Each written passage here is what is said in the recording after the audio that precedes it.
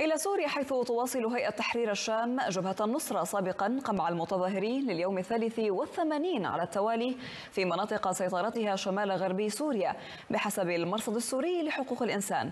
وتشهد مدن وقرى عدة في ريفي إدلب واللاذقية تظاهرات ضد تحرير الشام تطالب بإسقاط زعيم الهيئة أبو محمد الجولاني وإنهاء احتكاره للمشهد السياسي والأمني والاقتصادي في المنطقة. وهو ما قابلته الهيئة بحملة اعتقالات وضرب ضرب للناشطين إضافة إلى الانتشار العسكري في بؤر التظاهرات.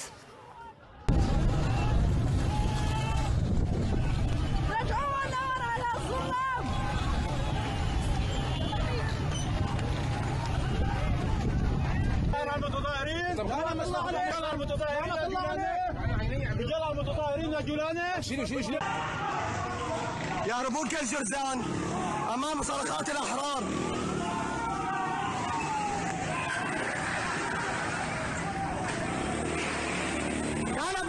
محمد محمد